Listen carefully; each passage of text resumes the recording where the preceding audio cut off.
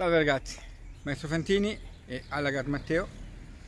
Oggi un video didattico per una persona che mi ha chiesto come si usa un coltello quando in teoria non lo sa usare. Allora, il modo più semplice è quello istintivo. Eh, non credo che ci sia un metodo A o B, ok?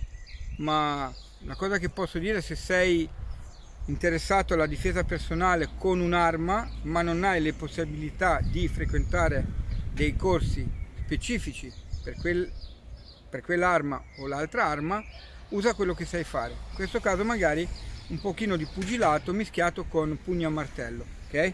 Allora Matteo adesso vi farà vedere semplicemente un esercizio di base. Vai Matteo come vedete Matteo sta praticamente eseguendo dei movimenti dal pugilato, ok? Non prettamente in una scuola, anche perché Matteo non è un pugile, ma tenterà di fare quello che nel suo istinto eh, di usare i pugni se venisse aggredito, con ausilio praticamente di una, di una lama. Può essere un coltello dritto, come potrebbe essere un carambit. Okay? Non importa, il modo, il modo più sicuro di usare un carambit, se non sapete usare, non fate silat, è questo ok? È un tirapugni leggermente più pericoloso, ok?